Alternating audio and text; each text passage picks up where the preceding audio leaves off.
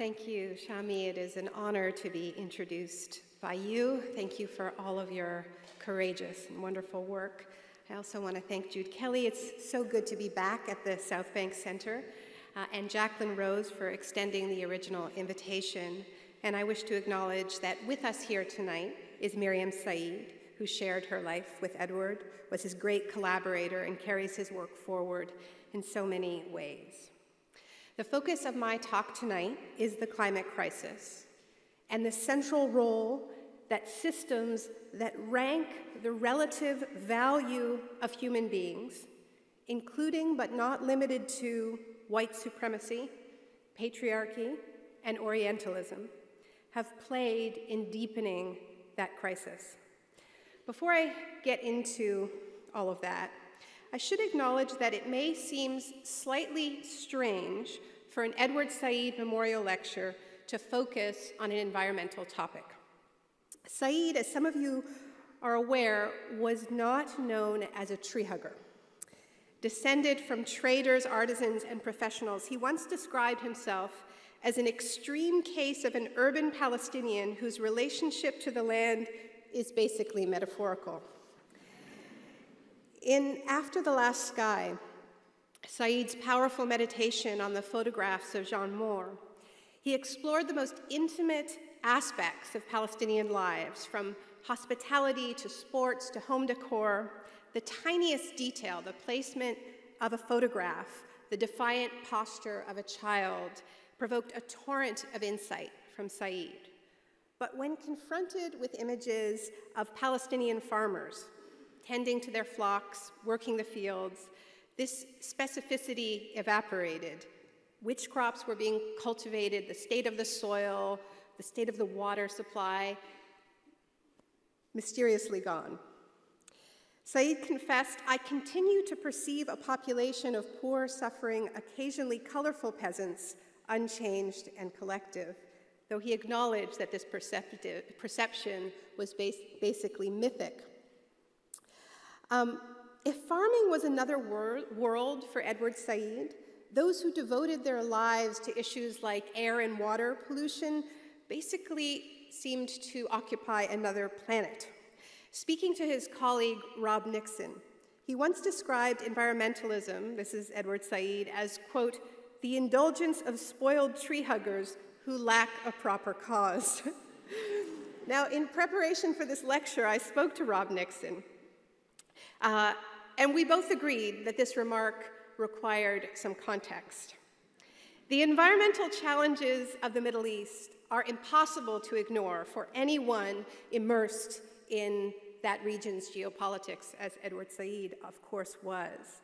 This is a region intensely vulnerable to heat and water stress, to sea level rise, and desertification.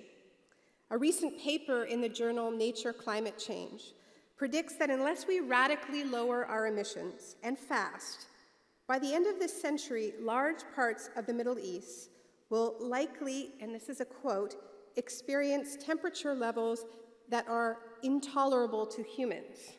Now, climate scientists aren't known for being direct. Um, this is about as blunt as they get. Yet despite this, environmental issues in the region tend to still be seen as a luxury. And the reason is not ignorance and it's not indifference, it's just bandwidth. Climate change is a grave threat, but it's most frightening in the medium term.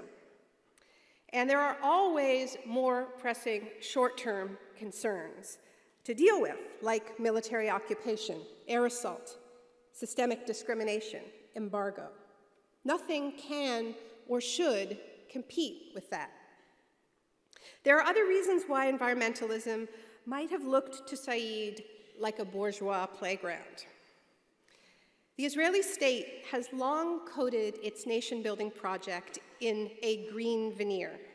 In fact, this has been a key part of the Zionist back to the land pioneer ethos. And in this context, trees specifically have been among the most potent weapons of land grabbing and occupation. It's not only the countless olive and pistachio groves that have been uprooted to make way for settlements and Israeli only roads. You see here a photograph of someone who is not your typical tree hugger, I think you will agree. It's also the sprawling pine and eucalyptus forests that have been planted over those orchards, as well as over Palestinian villages, most notoriously by the Jewish National Fund, known as the JNF. Under its slogan, Turning the Desert Green, the JNF boasts of having planted 250 million trees in Israel since 1901, many of them non native to the region. In publicity materials, the JNF bills itself as just another green NGO, concerned with forest and water management, parks, and recreation. It also happens to be the largest private landowner in the state of Israel, and despite a number of complicated legal challenges, it still refuses to lease or sell land to non Jews. Now, I grew up in a Jewish community where every occasion, births and deaths, Mother's Day, bar mitzvahs, were marked with the proud purchase of JNF trees in that person's honor. It wasn't until adulthood that I began to understand that those feel good, faraway conifers, which certificates for which uh, were papered the walls of my Montreal elementary school, were not merely benign, not just something to plant and later hug. In fact, these trees are among the most glaring symbols of Israel's system of official discrimination, the one that must be dismantled if peaceful coexistence is to become possible. The JNF is an extreme and recent example of what some call green colonialism. But the phenomenon is hardly new, nor is it unique to Israel. There's a long and painful history in the Americas of beautiful pieces of wilderness turned into conservation parks, and then and that designation being used to prevent indigenous people from accessing their ancestral territories to hunt and fish or to live, for that matter. It has happened again and again. A contemporary version of this phenomenon is the carbon offset. Indigenous people from Brazil to Uganda find that some of the most aggressive land grabbing today is being done by conservation organizations. A forest is suddenly rebranded a carbon offset that allows us to continue to pollute in countries like Britain, and it is put off limits to its traditional inhabitants. As a result, the carbon offset market has created a new class of green human rights abuses, with farmers and indigenous people being physically attacked at times by park rangers and private security when they try to access their lands. So these comments about tree huggers, I think, should be seen in this context and in this history, and there's more. The last year of Edward Said's life, uh, Israel was building the so called separation barrier. It was going up, seizing huge swaths of the West Bank, cutting Palestinian workers off from their jobs, farmers from their fields, patients from hospitals, and often brutally dividing families. There was no shortage of reasons to oppose that wall on human rights grounds. Yet at the time, some of the loudest dissenting voices among Israeli Jews were not focused on any of these issues. Rather, Israel's then environment minister, Yehudit Naot, worried about a report that informed her that, quote, the separation fence is harmful to the landscape, the flora and fauna, the ecological corridors, and the drainage of the creeks. I certainly don't want to stop or delay the building of the fence, she said, but I'm disturbed by the environmental damage involved. As Palestinian activist and author Omar Barghouti later observed, Naot's ministry and the National Parks Protection Authority mounted diligent rescue efforts to save an affected reserve of irises by moving it to an alternative reserve. They've also created tiny passages through the wall for animals. Perhaps this best puts that cynicism about the green movement in context. People do tend to get cynical when their lives are treated as less important than flowers and reptiles. And yet, and yet there is so much of Said's intellectual legacy that both illuminates and clarifies the underlying causes of the global ecological crisis. So much, indeed, that points how we might respond in ways that are far more inclusive than so many current campaign models. That do not ask suffering people to shelve their concerns about war, poverty, and systemic racism, and first save the world, but instead demonstrate how all of these crises are interconnected and how the solutions can be as well. In short, Edward Said may have had no time for tree huggers, but tree huggers must urgently make time for Edward Said and for a great many other key anti imperialist and post colonial thinkers. Because there is no way to understand how we ended up in this dangerous place, nor to grasp the transformations required to get us out. So, what follows are some thoughts, by no means complete, about what we can learn from reading Edward Said in a warming world. He was and remains among our most achingly eloquent theorists of exile and homesickness. But Said's homesickness, he was always made clear, was for a home that had been so radically altered that it no longer really existed. His was a complex position. He fiercely defended the right of return, but never claimed that home was fixed. Was ma- what mattered was the principle of respecting all human rights equally, that restorative justice must inform all of our actions and policies. This perspective is deeply relevant in our time of fast eroding coastlines, of nations disappearing beneath the rising seas, of coral reefs that sustain entire cultures bleached white, of a balmy Arctic. Because longing for a radically altered homeland, a homeland that may not even exist any longer, is a state that is being rapidly and tragically globalized. James Hansen, perhaps the most respected climate scientist in the world, formerly of NASA, published a paper recently, a very alarming paper about sea level rise, in which he warns that on our current emission trajectory, we face the quote, loss of all coastal cities, most of the world's large cities, and all of their history, and not in thousands of years, as previous models had suggested, but this century, unless we act very quickly. A world of people searching for a home that no longer exists. That is where we are headed if we don't demand radical change. And Said helps us imagine what that might look like as well. He helped to popularize the Arabic word sumud, sumud, I think I'm saying it wrong, to stay put, to hold on. That steadfast refusal to leave one's land despite the most desperate eviction attempts, and even when surrounded by continuous danger.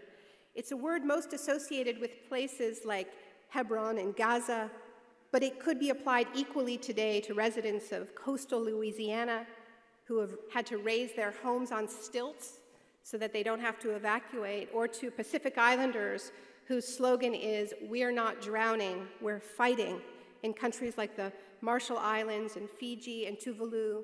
They know that so much sea level rise is already locked in, that their countries probably don't have a future, but they refuse to simply concern themselves with the logistics of relocation. Even if there were safer countries willing to open their borders, which is a very big if, considering that climate refugees currently have no recognition under international law. But as you see here, um, instead they are actively resisting blockading Australian coal ships with traditional outrigger canoes, disrupting international climate negotiations with their inconvenient presence, demanding far more aggressive climate action. If there is anything worth celebrating in the Paris Agreement signed last month, and unfortunately there isn't enough worth celebrating, it is because of this kind of principled climate action, what we might call climate sumud. But this only scratches the surface of what we can learn from reading Said in a warming world. He was, of course, the giant in the study of othering, what he described in Orientalism as disregarding, essentializing, denuding the humanity of another culture people, or geographical region. And once the other has been firmly established, the ground is softened for any transgression violent expulsion, land theft, occupation, invasion. Because, of course, the whole point of othering is that the other does not have the same rights, the same humanity that the people doing the othering have. So, what does this have to do with the climate crisis? Maybe everything.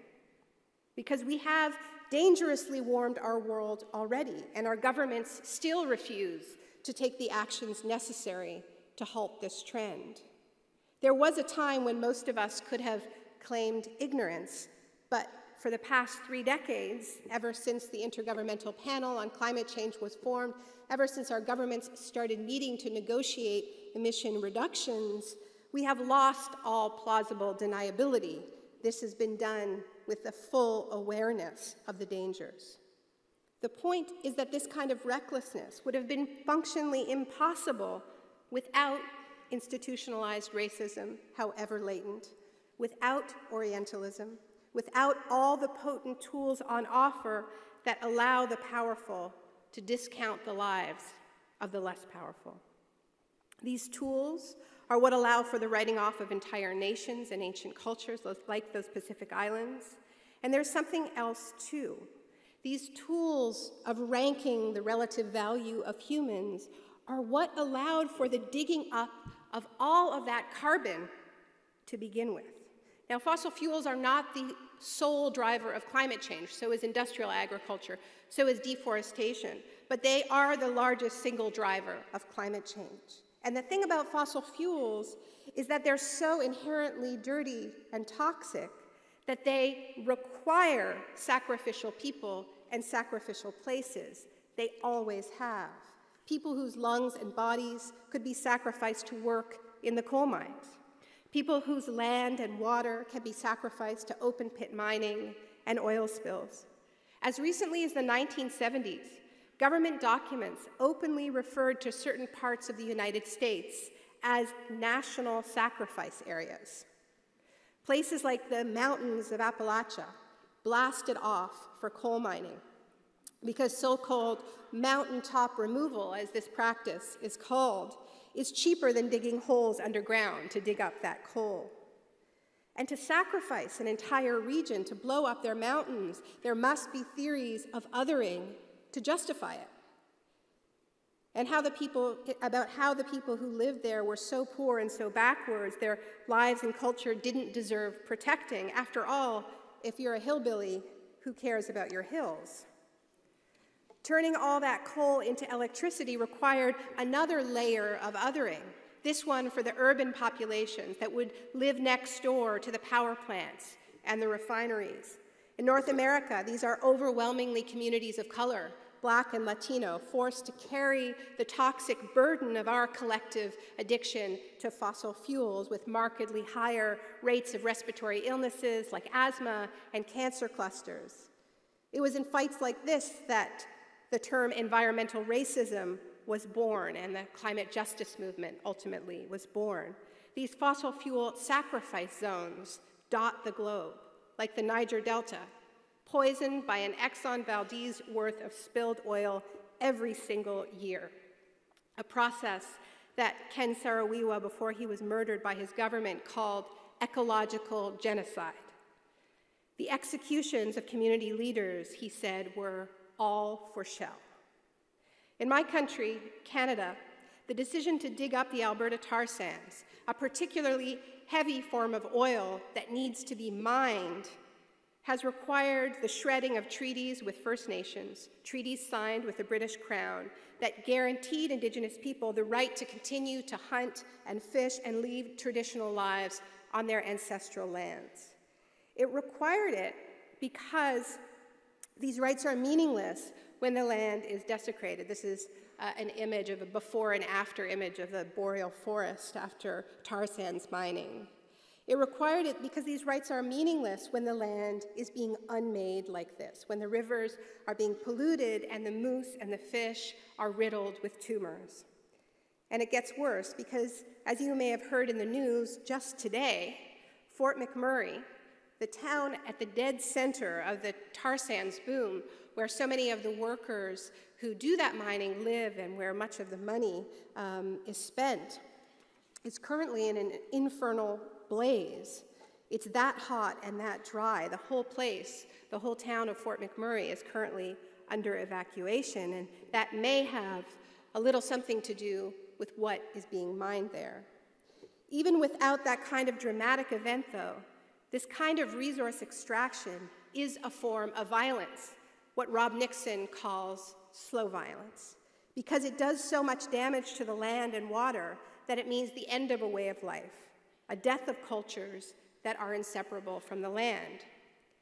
Severing Indigenous peoples' connection to the land used to be state policy in my country, imposed through the forcible removal of Indigenous children from their families sent to boarding schools where their languages and cultural practices were banned and where physical and sexual abuse were rampant. A recent Truth and Reconciliation study report called it genocide. The trauma associated with these layers of forced separation from land, from culture, from family is directly linked to the epidemic of despair ravaging so many First Nations communities today. And I think this too may have made the news over here. Maybe you heard about the community of Attawapiskat, a small community of 2,000 people, where on a single Saturday night last month, 11 people tried to take their own lives. Meanwhile, De Beers runs a diamond mine on the community's traditional territory. Like all extractive projects, it had promised hope and opportunity. Why don't the people just leave? This is what the politicians and the pundits ask in the face of this suicide epidemic, and many do. And that departure is linked in part to the thousands of Indigenous women in Canada who have been murdered and gone missing, many in large cities. The connection between violence against women and violence against the land, often to extract resources like fossil fuels, this connection is rarely made in press reports, but it's there. Every new government comes to power promising a new era of respectful relations with Indigenous people, of respecting Indigenous rights, and they don't deliver.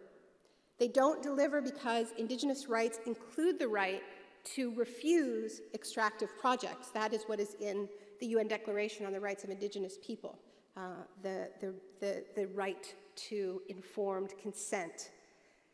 The right to refuse even when those projects fuel national economic growth. And that's a problem because growth is our culture, it's our religion, it's our way of life. So even Canada's hunky and charming new prime minister is bound and determined to build new tar sands pipelines, to build them against the express wishes of Indigenous communities who have said no, we will not risk our water, we will not participate in the further destabilizing of the climate. Fossil fuels require sacrifice zones. They always have, and they still do.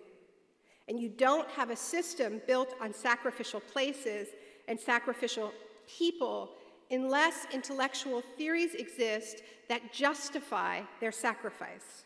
And those theories still persist from manifest destiny to terra nullius to Orientalism, from backwards hillbillies to backwards Indians.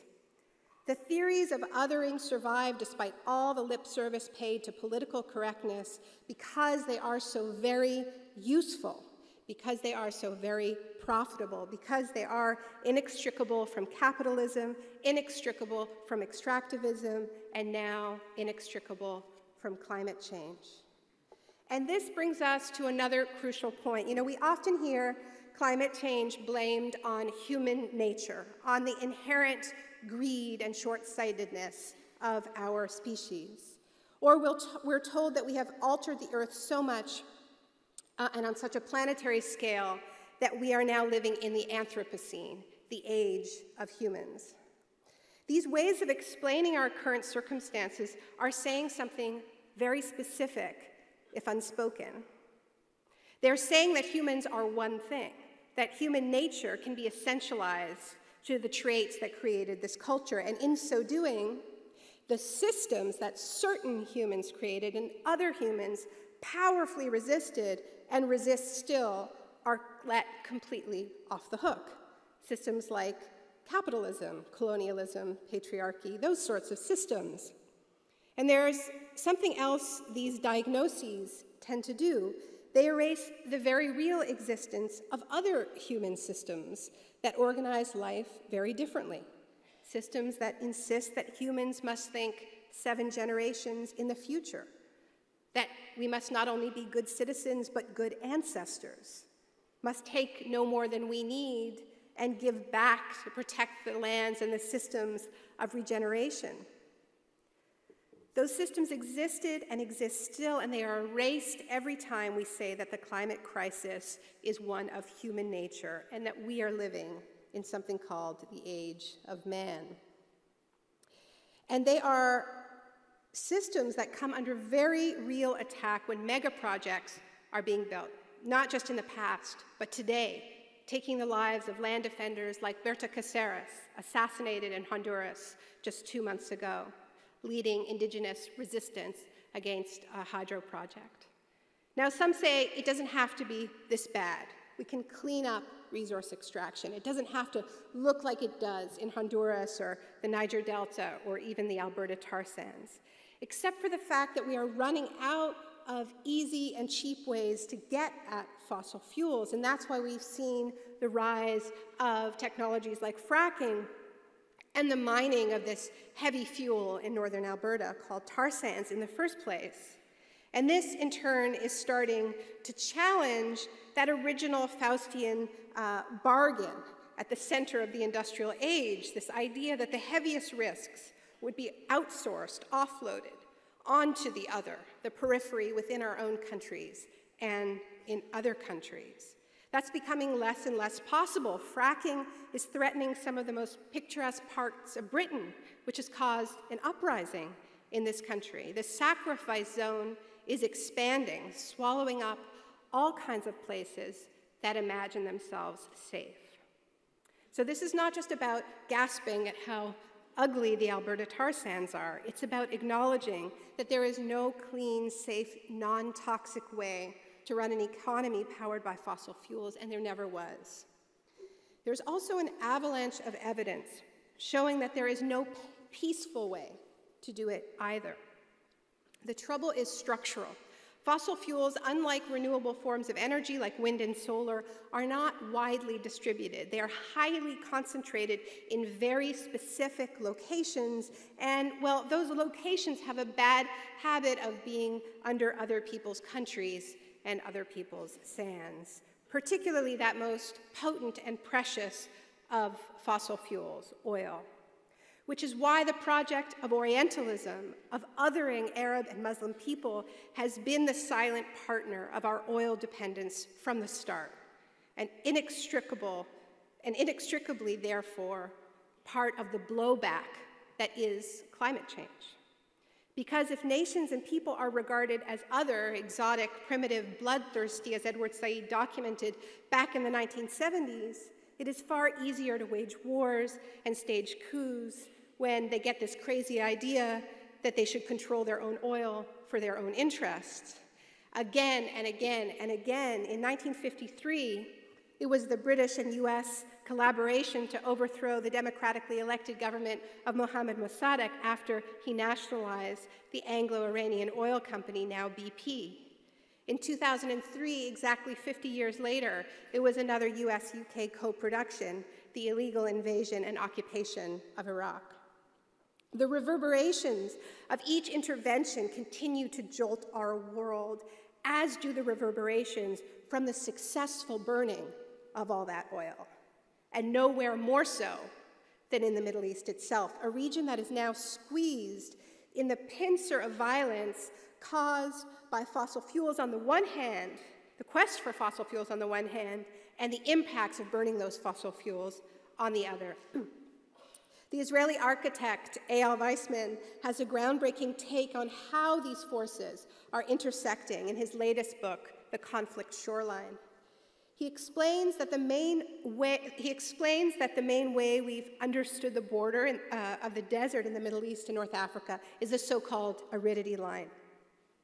These are lines indicating an average 200 millimeters of rainfall per year. That's been considered the minimum for growing cereal crops on a large scale without irrigation. So we're looking here at two key aridity lines uh, in this graphic, and, and, and Weizman generously shared this with me, and he was hoping to be here tonight, but he wasn't able to be. Uh, so these meteorological boundaries are not fixed. There there's always fluctuations within them, whether it's Israel's attempts to green the desert, which pushes the aridity line in one direction, or cyclical drought in this region that pushes it in the other. And now, with climate change, intensifying drought is having all kinds of impacts along, along these lines. Weizman points out that the Syrian border city of, Dar- of Daraa, which I think you see there, falls directly on the aridity line. That's where Syria's deepest drought on record brought huge numbers of displaced farmers in the years leading up to the outbreak of Syria's civil war. It's also where the Syrian uprising broke out in 2011. Drought was not the only factor bringing tensions to a head, as we all know, but the fact that 1.5 million people were internally displaced in Syria clearly exacerbated the tensions. This is something that is not controversial to say. John Kerry has said it on numerous occasions. This connection between water stress and conflict is a recurring pattern along the aridity line. If you look at some of the names we've put on the map, you will see some familiar ones from Libya to Gaza, some of the bloodiest battlefields in Afghanistan and Pakistan. Now, check this out. Weizman discovered what he calls an astounding coincidence. When you map the targets of Western drone strikes onto this region, if you can just do that, you see, and here I'm quoting him, that many of these attacks from South Waziristan through northern Yemen, Somalia, Mali, Iraq, Gaza, and Libya are directly on or close to the 200 millimeter aridity line. So those red dots represent some of the areas where drone strikes have been most concentrated. I was really struck when I saw this image, and this is why I wanted to share it with you, because I think it's the most striking attempt yet to visualize the brutal landscape of the climate crisis. Speaking of aridity. So, some of this was foreshadowed a decade ago in a US military report published by the Center for Naval Analyses. And many people have pointed out, though, that although there is a high degree of climate change denial in the United States, particularly among Republicans, um, the US military has been talking openly about this for a long time. So, this is a 2007 report. And it makes the, the following rather stark observation the Middle East has always been associated with two natural resources oil, because of its abundance, and water, because of its scarcity. Uh, so I thought that was a, an apt quote. It's true enough.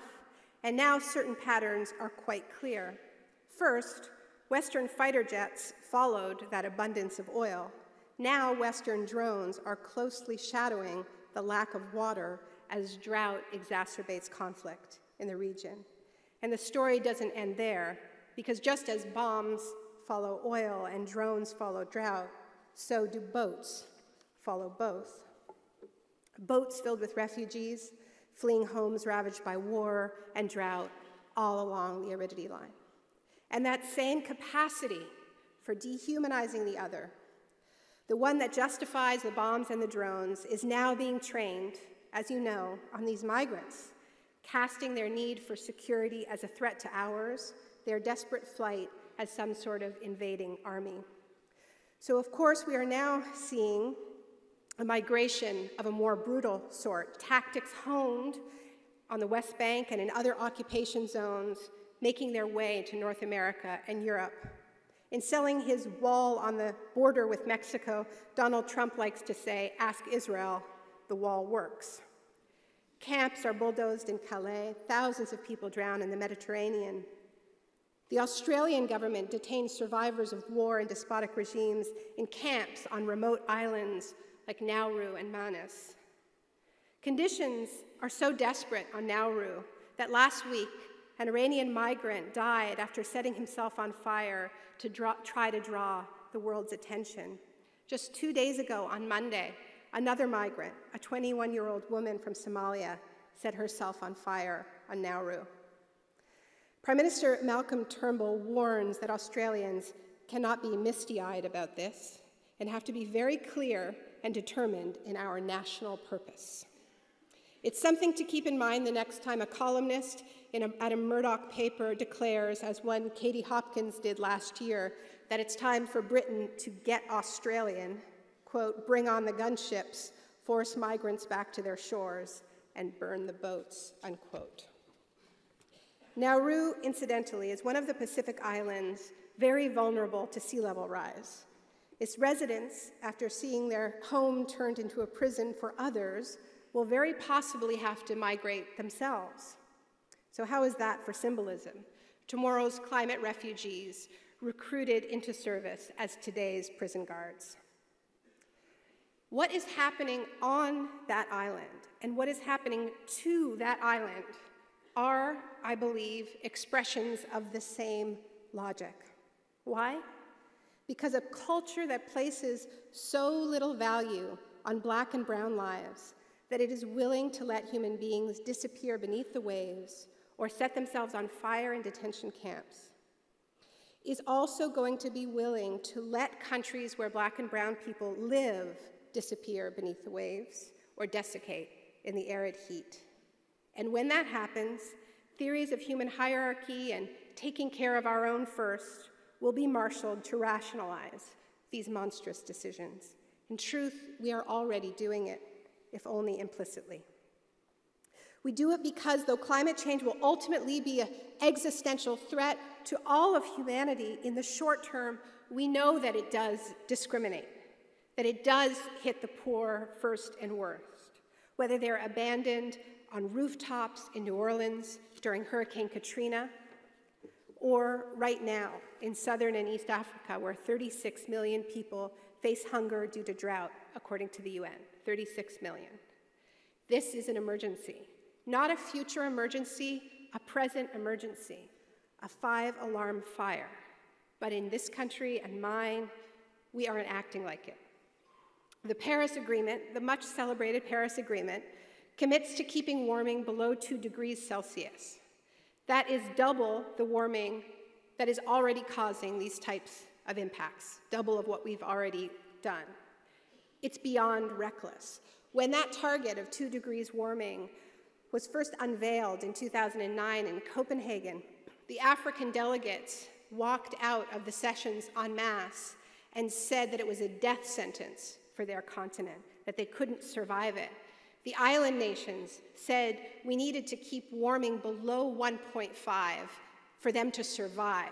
Their slogan has become 1.5 to stay alive. At the last minute, a clause was added to the Paris Agreement that says countries will, quote, pursue efforts to limit the temperature increase to 1.5 degrees Celsius.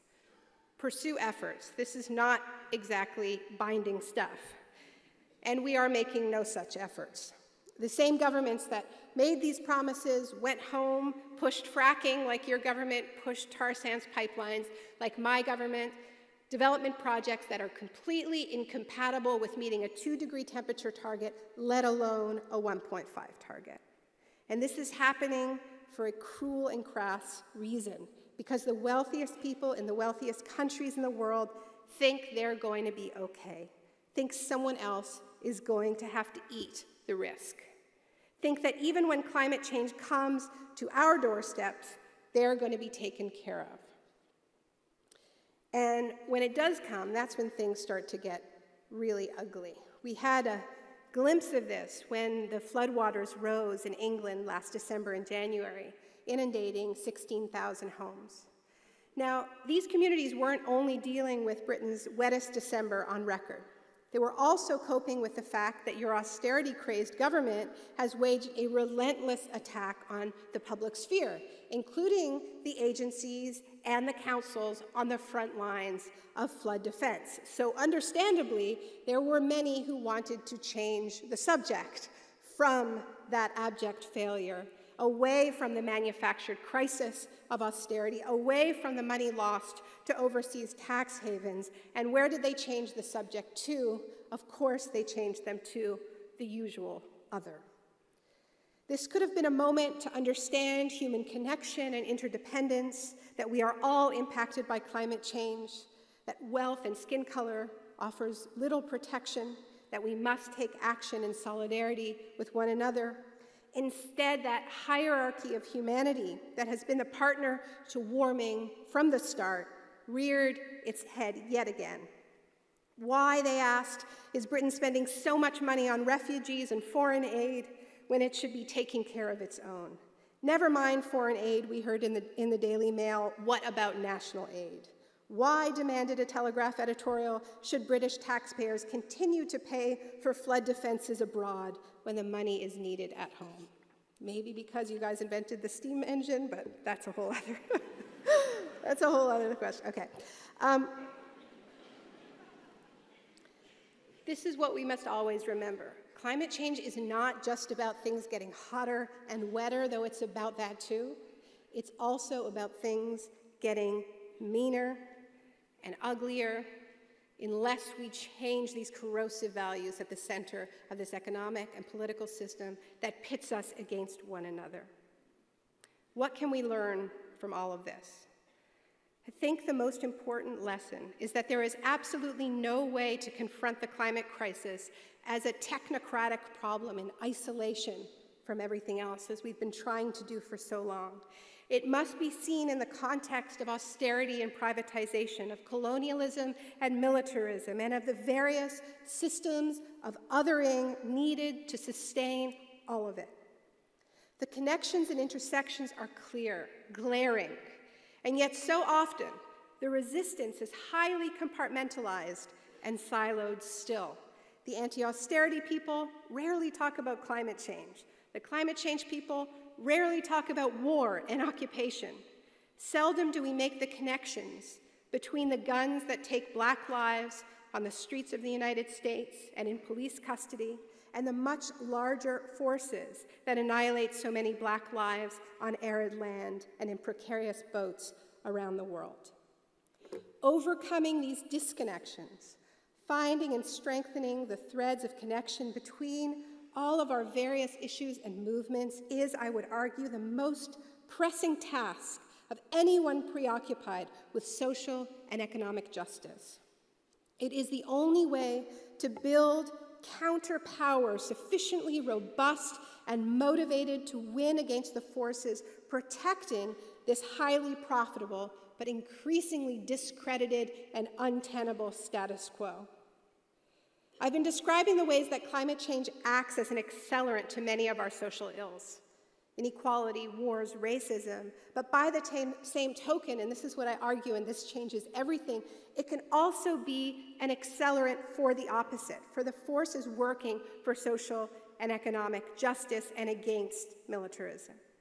Indeed, the climate crisis, by presenting our species with an existential crisis and putting us on a firm and unyielding science based deadline, might just be the catalyst we need to knit together a great many powerful movements, bound together by a belief in the inherent worth and value of all people united by a rejection of the sacrifice zone mentality, whether it is applied to people or to places by the understanding that we face so many overlapping and intersecting crises that we cannot fix them sequentially. We need integrated solutions. We need to design and fight for policies that radically bring down emissions, create huge numbers of well paying jobs that pay a living wage, that are, are unionized, and that bring justice to the sacrifice zones, to the front lines of climate impacts first of all. We need to do this between countries and within our countries. In Canada, I've been part of a project that we call the LEAP Manifesto, which articulates what these policies must be. And one of, one of our demands is that we want energy democracy as we switch from fossil fuels to renewable energy. We don't want to just be buying renewable energy from Shell and Exxon. We want communities to own and control their own renewable energy projects, and we want Indigenous communities and other frontline communities who have gotten the worst deal in the current extractive economy to be first in line to own and control their own renewable energy projects. That's energy justice, that is energy reparations. Those who knew Said well observed that at the end of his life, he was increasingly concerned about ecological issues.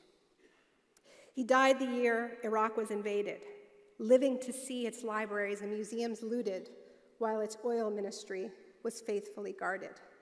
Amidst these outrages, he found hope in the global anti war movement, as well as from new forms of grassroots communication opened up by technology. he described it like this The existence of alternative communities across the globe, informed by alternative news sources and keenly aware of the environmental, human rights, and libertarian impulses that bind us together on this tiny planet. You will note that his vision even had a place for tree huggers. I was reminded of these words recently when I was reading up on England's recent floods. And amidst all the scapegoating and finger pointing in the corporate press, I came across a post by a man named Liam Cox. He was upset by the way some in the media were using the disaster to roil, to roil up anti, sorry, to rile up anti-foreigner sentiment. He used words somewhat coarser than one might expect at a lecture in honor of the impeccably erudite Edward Said, but I think they belong here nonetheless. Here is what Mr. Cox wrote. I live in Hebden Bridge, Yorkshire, one of the worst affected areas hit by the floods. It's shit. Everything has gotten really wet. However, I'm alive. I'm safe. My family are safe. We don't live in fear. I'm free. There aren't bullets flying around. There aren't bombs going off. I'm not being forced to flee my home, and I'm not being shunned by the richest countries in the world or criticized by its residents. All of you morons vomiting your xenophobia about how much money should be, about how money should only be spent on our own need to look at yourselves closely in the mirror. I request you ask yourselves a very important question Am I a decent and honorable human being? because home isn't just the UK, home is everywhere on this planet. I think that makes for a fine last word. Thank you.